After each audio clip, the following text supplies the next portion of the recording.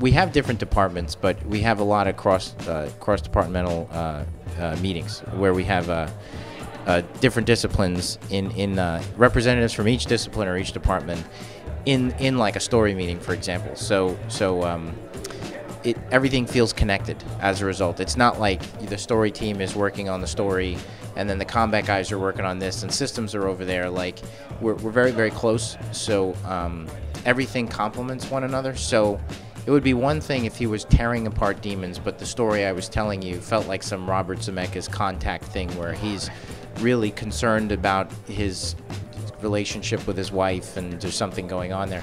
but then like as soon as he's done, he tears apart demons for, you know, 12 hours. You're like like that's kind of inconsistent, you know. Right. Um, so actually part of his personality because the story is all about this dude who's just one-dimensional, is totally focused on killing demons. He's this epic badass um, who's been, you know, it's implied that he's been doing this for a really, really long time.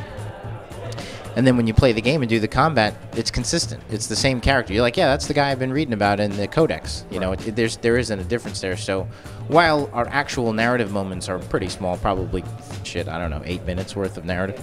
Uh, the whole game is building up the character, you know, pretty much as, as you tear through the world.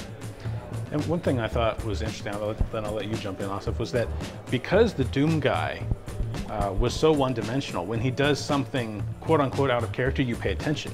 Absolutely. He goes through the whole game, you know, ripping and tearing and smashing, but then at the end, when he doesn't, when he saves the object, you're like, oh, you, you pay attention to that because he's not smashing it, and that lends importance not only to the object, but also to him. I thought it said something about his character.